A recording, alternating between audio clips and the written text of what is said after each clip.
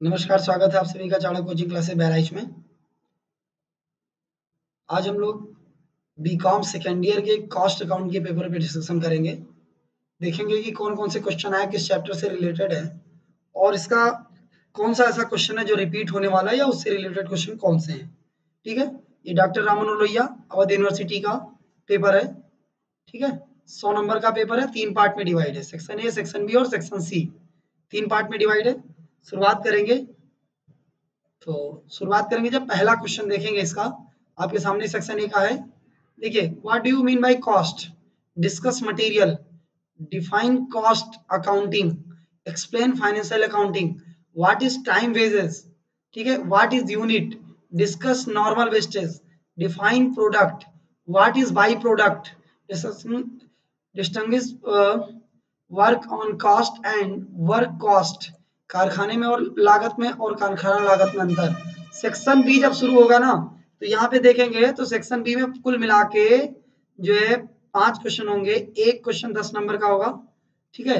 और ये 200 वर्ड में आपको लिखने होंगे, लेकिन ये थ्योरी पे फाउंडेशन होती है न्यूमेरिकल पे नहीं होती है। ध्यान रखिएगा।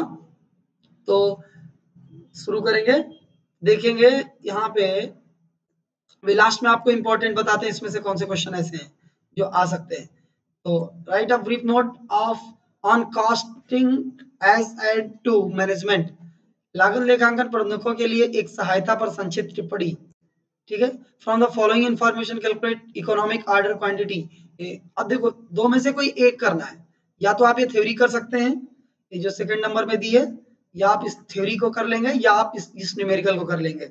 दोनों में से कोई एक करेंगे न्यूमेरिकल करेंगे तो ज़्यादा सही होता है। यो क्यू टू क्या होता है? Root two A S upon I formula है, लगाएँगे, तुरंत लग जाएगा, एक मिनट भी नहीं लगेगा। नीचे प्लेलिस्ट दे दी गई है, वहाँ पे जाके आप विज़िट कर सकते हैं। इससे रिलेटेड क्वेश्चन आपको बताया गया है, बिल्कुल इसी टाइप पे। वहाँ पे जाके आप वीडियो को देख सकते हैं। Explain the general principle of cost accounting ये फिर ये, फिर लागत लेखांकन और वित्तीय लेखांकन में अंतर। अब दोनों में से कोई एक करना है। फिर एक्सप्लेन द एबीसी एनालिसिस ठीक है? मटेरियल कंट्रोल चैप्टर से रिलेटेड है ऑलवेज बेटर कंट्रोल इसका मतलब होता है। फिर अगला देखिए, इसका न्यूमेरिकल दिया गया है।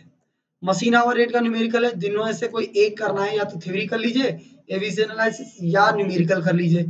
आपके सामने पूरा क्वेश्चन है, देख सकते हैं इसको। ठीक है?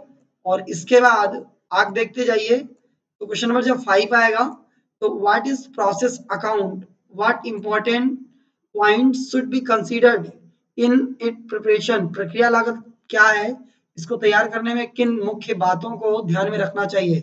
Accounts of factory show the following information या फिर इसके आगे न्यूमेरिकल दिया गया है, और ये जो न्यूमेरिकल है ना टेंडर प्राइस का है।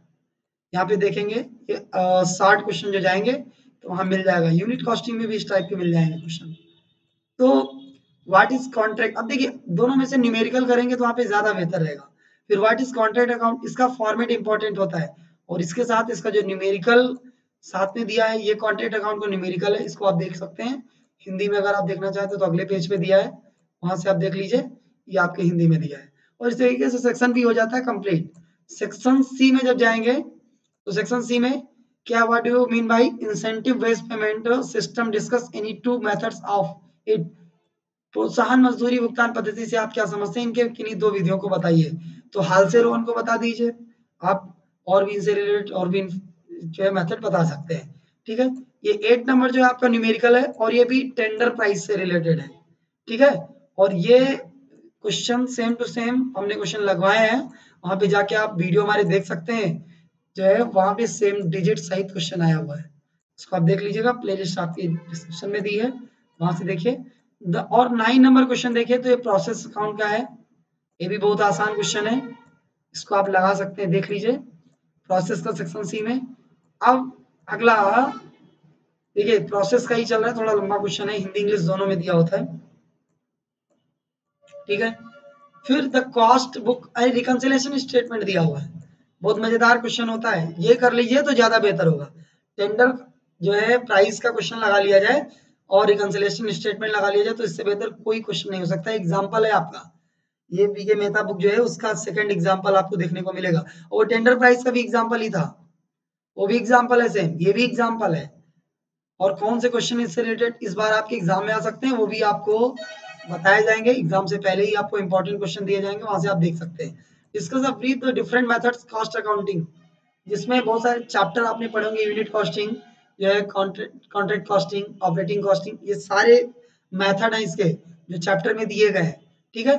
और इस तरीके से 2020 का जो हमारा पेपर था, ये कंप्लीट हो गया। टेन ईयर्स के आपको पेपर प्रोवाइड कराए जाएँगे।